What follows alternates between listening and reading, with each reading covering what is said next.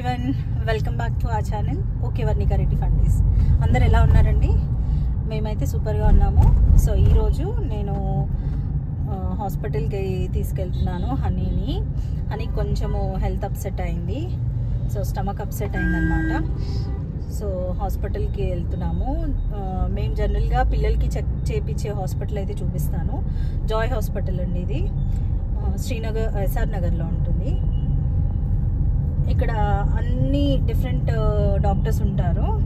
Pediatricians gynaec physicians ortho rheumatology cardio different branches doctors అయితే అవైలబుల్లో ఉంటారనమాట అంటే మల్టీ స్పెషాలిటీ హాస్పిటల్ అది. సో ఇప్పుడైతే ఒకసారి హాస్పిటల్కి వెళ్ళి సో హనీకి స్టమక్ అప్సెట్ అయిందని చెప్పాను కదా. సో రీజన్స్ ఏంటో తెలీదు. సో సమ్మర్ కదా మేబీ అది అయి ఉండొచ్చు సో వెళ్ళేసి ఒకసారి మెడికేషన్ రాపించుకొని వద్దాం.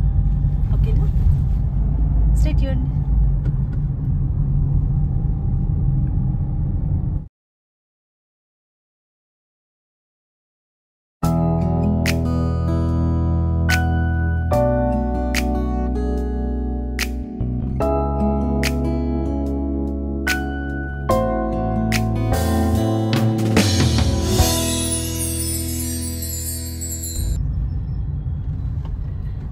ఇదైతే ఎస్ఆర్ నగర్ నా ఇంటర్మీడియట్ కాలేజ్ అంతా ఇక్కడే చదువుకున్నాను నేను. శ్రీన శ్రీ చైతన్య కళాశాల అని ఉండేదండి.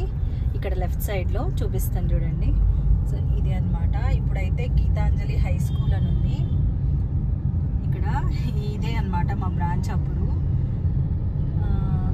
ఇదా ఇదా పక్కందా ఈ పక్కందేమో మరి. అయితే ఇక్కడ శ్రీ చైతన్య జూనియర్ కళాశాల అని చూడండి.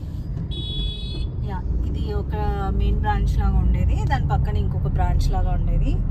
సో ఇదే అన్నమాట నా ఇంటర్మీడియట్ కాలేజ్ చదువుకున్న కాలేజ్ అనమాట ఇప్పటికీ ఉంది. ఇప్పటికీ ఉంది అంటే శ్రీ చైతన్య కాలేజీలు ఎందుకు పోతాయిలేండి? అది కాదు. సో అంటే ఆ ప్లేస్లోనే ఉంది అని. That is what I mean ఇక్కడ నుంచి ఎస్ఆర్ నగర్ నుంచి కొంచెం ముందు ఒక టెన్ మినిట్స్ డిస్టెన్స్ ఉంటుంది. మనం వెళ్ళాల్సిన హాస్పిటల్.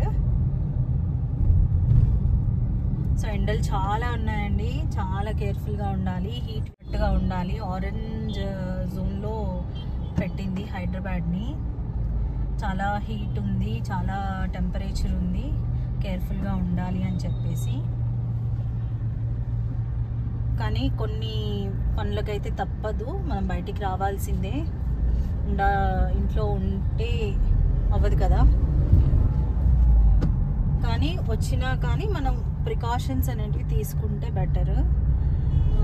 మెయిన్గా పిల్లలండి. పిల్లలకి వెకేషన్ హాలిడేస్ ఉంటే వాళ్ళు మ్యాక్సిమం బయట ఆడుకోవడానికి ప్రిఫర్ చేస్తారు.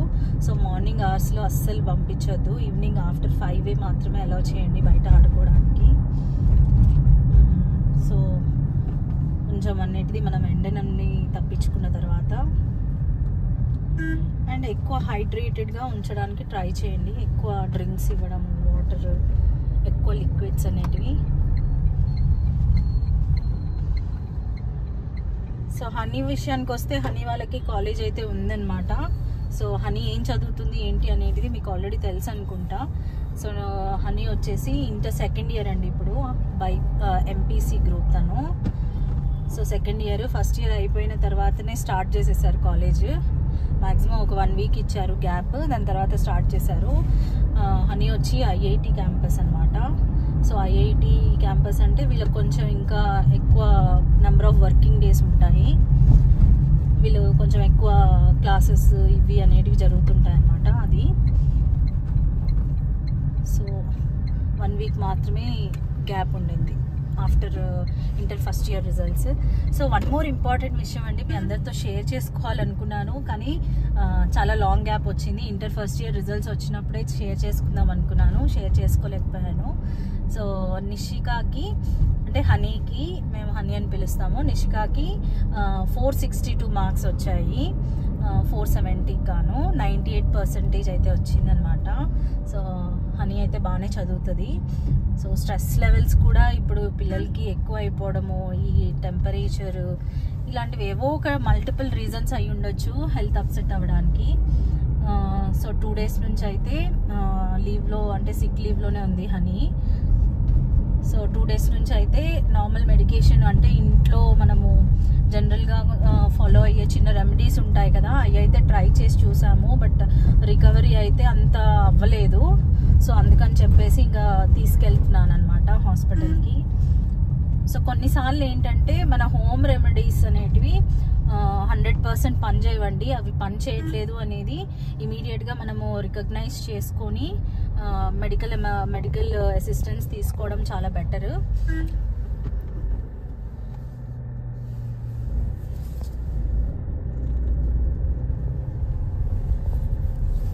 తగ్గుతుందిలే అని చెప్పి అలాగే ఉంచేయకూడదు అనమాట మెయిన్గా ఎవరి విషయంలో అయినా పిల్లలైనా కానీ మనమైనా కానీ సో నాకు అలా అనిపిస్తుంది.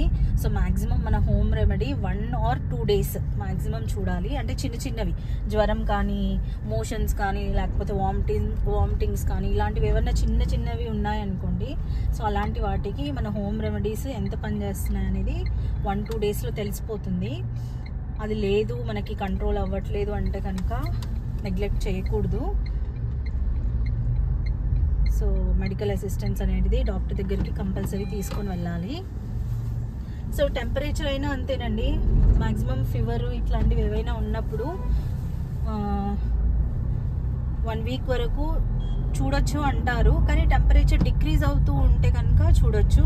టెంపరేచర్ అనేది డిక్రీజ్ అవ్వకుండా అలాగే ఉంది అనుకుంటే కనుక అస్సలు నెగ్లెక్ట్ చేయకూడదు అనమాట ఫీవర్ ఉన్నప్పుడు మనకి one not one one not two ఉండి హండ్రెడ్కి వచ్చింది నెక్స్ట్ వన్ టూ డేస్ తర్వాత అంటే ఓకే పర్లేదు.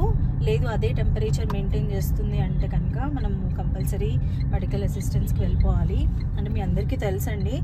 సో బట్ స్టిల్ నేనైతే నాకు తెలిసిన విషయాలు అయితే షేర్ చేసుకుంటున్నాను.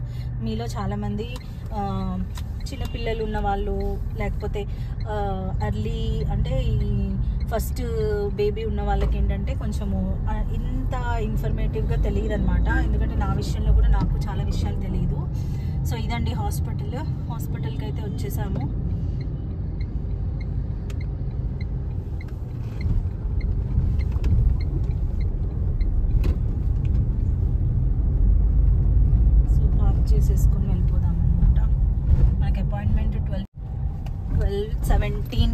వచ్చాం రీచ్ అయ్యాము but still that's okay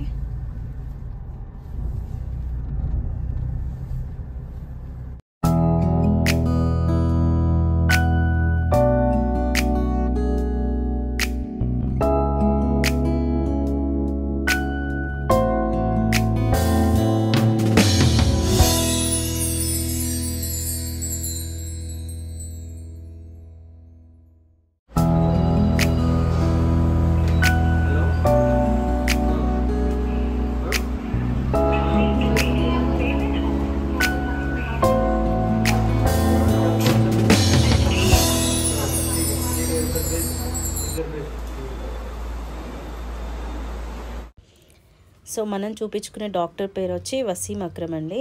ఇద్దరు పిల్లలు ఇక్కడే చూపించుకుంటారు. చాలా మంచి డాక్టరు. చాలా పేషెన్స్గా వింటారు. చాలా బాగా అనిపిస్తుంది అనమాట సగం డాక్టర్ దగ్గరికి రాగానే మనకు తగ్గిపోయినట్టు అనే ఫీలింగ్ వస్తుంది కదా. అలాంటి ఫీలింగ్ అయితే ఇక్కడ ఈ డాక్టర్ దగ్గరికి రాగానే పిల్లలకి తగ్గిపోయినట్టు ఫీలింగ్ వస్తుందన్నమాట. సో ఇంకా కొన్ని మెడిసిన్స్ అయితే రాశారండి. ఆ మెడిసిన్స్ వాడితే సరిపోతుందని చెప్పారు. కొంచెం స్టమక్ పెయిన్ ఉందని చెప్పాను కదా. సో దానికైతే మెడిసిన్స్ అయితే వాడితే సరిపోతుంది. సో ఇదండి ఈరోజు video. Hope you like this video if you like it please like share and subscribe to my channel okay Varnika Reddy fundays thank you